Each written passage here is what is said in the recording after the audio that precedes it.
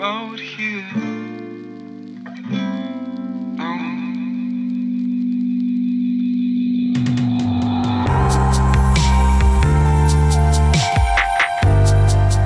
buenas a todos, ¿qué tal? ¿Cómo estáis? Y bienvenidos a un nuevo vídeo aquí en La Manzana Mordida. Estamos, yo creo sin temor a equivocarme, en el momento histórico con más iPad. O sea, ahora mismo en el mercado tenemos la mayor gama y variedad de iPads que hemos visto nunca. Tenemos iPad Pro, iPad Air, iPad Mini y el iPad a secas, que en este vídeo lo voy a llamar iPad de séptima generación, porque así lo llama Apple, ¿no? Realmente es normal que incluso en este momento actual muchos usuarios que no tienen muy claro qué iPad es el más recomendable tengan infinidad de dudas y eso incluso haya ido retrasando la compra y ese retraso mes a mes, mes a mes, siempre entra luego en confrontación con él y si me espero a los nuevos. Entonces en este vídeo queremos comenzar el año también haciendo una recomendación sobre qué iPad es el mejor para ti. Así que lo primero creo que sería repasar la gama actual y qué iPads son los más recientemente actualizados y cuáles no. Por ejemplo, iPad Air, iPad mini y el iPad de séptima generación son los iPads que se han actualizado en 2019. El iPad Pro es el único equipo que no se actualizó, es decir, el modelo actual que Apple vende de iPad Pro, el iPad Pro digamos más pequeño y el más grande, están actualizados a fecha de 2018. Así que ya partiendo de esta base, os podéis hacer una idea que la inminente renovación de este iPad hace que quizás no sea el más aconsejable. Pero claro, yo entiendo que el apellido Pro gusta mucho, llama mucho la atención. Y en este vídeo, antes que nada, quiero deciros por qué el iPad Pro se llama iPad Pro. Y no ir a lo básico de por qué es un iPad para profesionales. No, Sí, es un iPad que pueden usar profesionales, pero el iPad mini también lo pueden usar profesionales, el iPad Air lo pueden usar profesionales, incluso el iPad de séptima generación también lo pueden usar profesionales.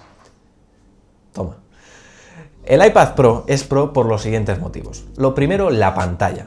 No porque tenga un diseño nuevo, no, sino por la tecnología. Tiene una pantalla con tecnología ProMotion que nos permite tener una tasa de refresco que realmente se nota mucho, sobre todo si la comparamos con los iPads que no la tienen. Esta pantalla pues, te permite tener mucha más precisión a la hora de trabajar pues, con aplicaciones que requieran de esa fluidez que otros iPads a lo mejor no te pueden dar.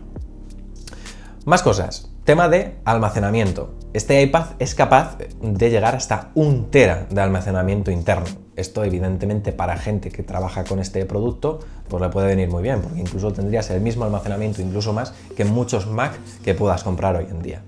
Otro de los puntos es el Face ID. El Face ID, el desbloqueo facial que tenemos en los nuevos iPhone, pues también es una de las peculiaridades y es el único iPad que monta esta tecnología.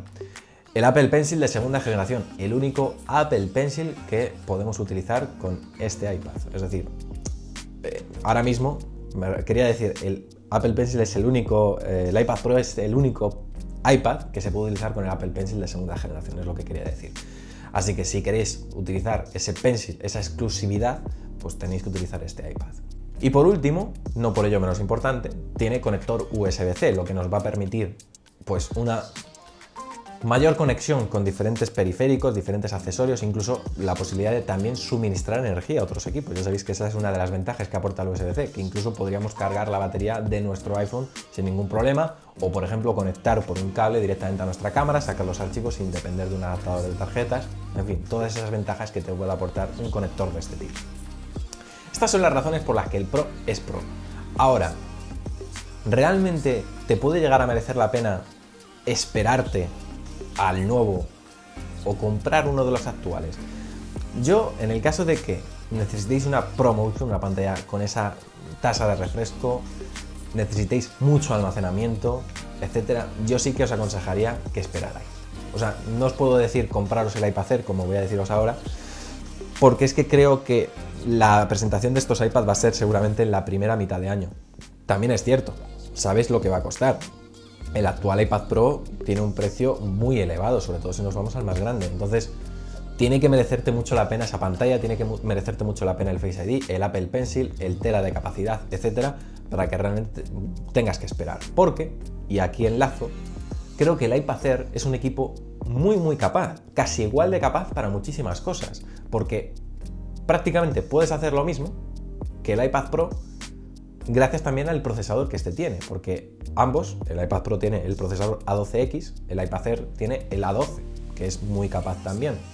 Y creo que el iPad Air puede ser una muy buena alternativa para aquellos que no quieren esperar a un nuevo iPad Pro, pero quieran tener el último iPad del mercado con un precio muy competitivo, porque este iPad cuesta 549 euros, lo cual con una pantalla de 10,5 pulgadas, tecnología True Tone, A12, compatibilidad con Apple Pencil, Smart Keyboard, yo creo que está muy bien.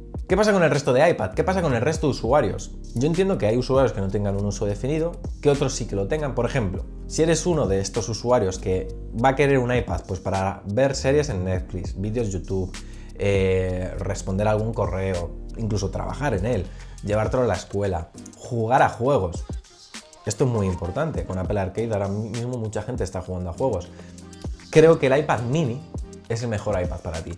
¿Por qué? Porque tiene la versatilidad que te puede dar una Nintendo Switch, por ejemplo, con esa portabilidad, con esa pantalla, con la compatibilidad ya con mandos de otras consolas como PlayStation, Xbox. Hemos subido, creo, esta semana un vídeo relacionado con esto. quiero decir, en definitiva, me parece una consola portable que te permite ver vídeos y te permite rendir una velocidad brutal, porque tiene la 12 también, y un precio yo creo bastante majo. O sea, este iPad vale 449 euros, también compatible con Apple Pencil, con teclados, ¿qué más se le puede pedir? Y luego por último quedaría el iPad, que no es quizás tampoco por ello el peor, por el precio me refiero, 379 euros. ¿Qué puedes hacer con este iPad? Pues puedes hacer prácticamente lo mismo que con los anteriores. Sí que es verdad con un procesador un poquito más recortado, el A12, el A10, perdón, pero tienes compatibilidad con Apple Pencil, compatibilidad con teclados, iPadOS, una buena pantalla, no es la mejor, pero una buena pantalla en definitiva. Puedes reproducir vídeos, puedes jugar, puedes hacer prácticamente lo mismo. Y creo que esto es muy importante remarcarlo. O sea, es el iPad quizás más compensado de todos, porque a usabilidad yo creo no le ganan mucho tampoco los otros. Y realmente el precio, joder, son 379 euros, no llega a 400 euros. Es un iPad muy a tener en cuenta. Ahora, en mi ranking, si tuviera que elaborar un ranking ya final con estas conclusiones, pondría el primero, el iPad más aconsejable de todos, al iPad de séptima generación, este último que acabo de mencionar, porque es el más equilibrado, es el que le va a valer pues prácticamente a casi todo el mundo. Segunda posición, al iPad mini, porque creo que la peculiaridad de ser tan portable le da una ventaja tan grande respecto al resto que yo creo que es difícil que los otros puedan recuperar, sobre todo teniendo en cuenta las capacidades de ese iPad mini. Potencia, como el que más. Compatibilidad con Apple Pencil, con teclados, bla, bla, bla, que os voy a contar. Luego, en tercera posición, iPad Air. Y en la última posición, porque evidentemente no me sale de aquí dentro recomendaros el iPad Pro por su inminente renovación, este iPad Pro que he comentado. Y diréis, joder, ¿y el iPad Air que has dicho que es la alternativa al iPad Pro? ¿Por qué no lo recomiendas? ¿Por qué lo has dejado en tercer lugar en tu ranking? Bueno, la razón simple y llanamente es porque creo que con el iPad Air, por algo más de 500 euros, no te privas, o sea, no puedes hacer algo que no puedas hacer en, otros, los otros iPads. Y esto es algo que es una realidad. Dime ahora mismo, tú, querido usuario, ¿qué puedes hacer con el iPad Pro o con el iPad Air? Bueno, con el iPad Pro sí puedes tener ciertas exclusividades gracias al conector, pero ¿qué puedes hacer con el iPad Air que no puedes hacer con el iPad de séptima generación? Piensa, no me digas jugar a juegos, porque ahora mismo el iPad de séptima generación con la generación actual de juegos rinde muy bien. Ahí está, ahí está. Así que espero haberos ayudado un poco a definiros eh, qué iPad es el mejor para cada caso. Eh, en definitiva, estas son mis recomendaciones, por supuesto, muy personales. Por supuesto, vosotros en la caja de comentarios podéis hacer las vuestras. Y nada, eh, espero que os haya gustado el vídeo, espero que os haya ayudado y nos vemos en próximos, aquí en La Manzana Mordida, porque ya lo sabéis, que yo soy Fernando y prometo hacerlo.